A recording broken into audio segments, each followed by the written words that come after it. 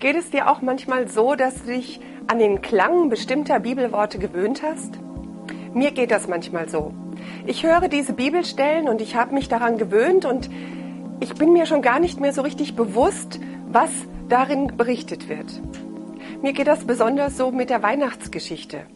Ich habe kürzlich die Weihnachtsgeschichte gehört und ich hörte diese Anfangsworte, es begab sich aber zu der Zeit und die Weihnachtsgeschichte lief vor meinen Ohren ab und eigentlich habe ich gar nicht mehr richtig hingehört, weil ich kannte sie ja so gut. Als ich sie später nochmal nachgelesen habe, blieb ich im zweiten Kapitel vom Lukas-Evangelium an einer besonderen Szene hängen. Das ist die Szene, wo der Himmel aufreißt und es heißt, die Menge der himmlischen Heerscharen lobte Gott. Die Menge der himmlischen Heerscharen erfüllte Himmel und Erde mit Lobpreis. In der Bibel lesen wir dazu, dass sie sangen, Ehre sei Gott im höchsten Himmel und Frieden auf Erden für alle Menschen, an denen Gott gefallen hat. Alle Menschen, an denen Gott gefallen hat? An diesem einen Satz blieb ich besonders hängen. Andere Bibelübersetzungen sprechen vom Wohlgefallen Gottes. Das Wohlgefallen Gottes, das ist seine Freundlichkeit, das ist Jauchzen, das ist Herzensgüte, das ist Zugewandtsein zu den Menschen. Wusstest du, dass Gott Wohlgefallen an dir hat? Gott hat Wohlgefallen an dir, indem er in dieser besonderen Nacht Jesus auf die Erde sandte. Jesus wurde in dieser Nacht geboren. Lobpreis erfüllte Himmel und Erde.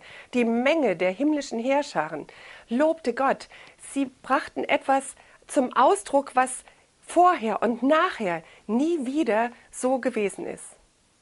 Und es ist deshalb gewesen, damit wir einen Weg zu Gott finden können. Jesus wurde geboren, der Retter wurde geboren, der Erlöser kam. Gottes Wohlgefallen ruht auf dir. Du kannst heute eine Beziehung zu diesem Retter, zu diesem Erlöser aufnehmen. Jesus ist nur ein Gebet von dir entfernt. Wenn du das möchtest, wenn du möchtest, dass Jesus in dein Leben kommt, dass du eine Beziehung zu ihm aufnimmst, dann brauchst du eigentlich nur dieses eine kurze Gebet zu sprechen. Herr Jesus, komm in mein Herz. Sei du mein Erlöser und mein Retter.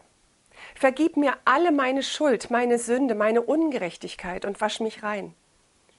Ich möchte, dass du in meinem Leben regierst. Siehst du, dann bist du von neuem geboren, weil Jesus in deinem Herzen geboren ist. Gottes Wohlgefallen ruht auf dir.